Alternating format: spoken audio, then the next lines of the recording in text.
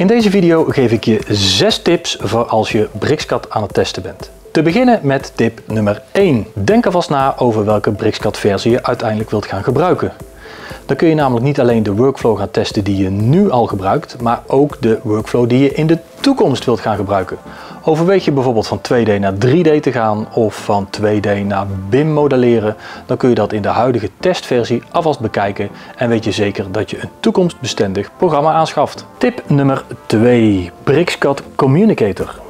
Gebruik je vaak werktuigbouwkundige bestanden, zoals stepfiles of bestanden van Inventor en SolidWorks, dan kan BricsCAD Communicator een handige toevoeging zijn op BricsCAD.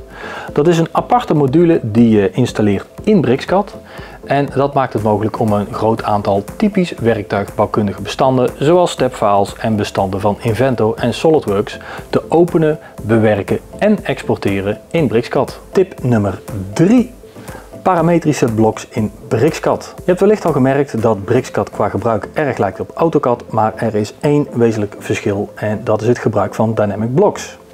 AutoCAD maakt gebruik van Dynamic Blocks, terwijl BricsCAD gebruik maakt van parametrische blocks.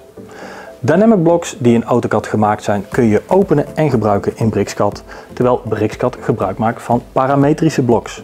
Het uiteindelijke effect is hetzelfde, maar de weg er naartoe is net iets anders. Een voordeel van de parametrische blocks in BricsCAD is dat je die ook in 3D parametrisch kunt maken. Tip nummer 4, plotinstellingen. Gebruik op dit moment plotinstellingen in AutoCAD, dan is er goed nieuws, die kun je ook gebruiken in BricsCAD. En als je die nog niet gebruikt, is dat wellicht handig om even naar te kijken, want dat kan je een hoop werk besparen. Wil je die plotinstellingen die je in AutoCAD hebt omzetten naar BricsCAD, dan zijn er meerdere manieren voor en het makkelijkste is om even contact met ons op te nemen, dan helpen we je daar even mee. Tip nummer 5. Lisp routines. Gebruik je al Lisp-routines, dan zijn die makkelijk om te zetten naar BricsCAD. Het enige wat wel eens wil voorkomen is dat een verwijzing aangepast moet worden of een andere kleine wijziging. Daar kunnen we je mee helpen, zodat je bestaande Lisp-routines kunt gebruiken in BricsCAD. Gebruik je die nog niet, dan is dat wellicht handig om eens naar te kijken, want daar kun je routinematig werk mee automatiseren in BricsCAD. Oh ja, ook handig om te weten, Lisp-routines zijn al te gebruiken vanaf de BricsCAD Lite versie. Tip nummer 6. Last but not least, neem gerust controls op. We zijn er om je te helpen als het gaat om support en trainingen.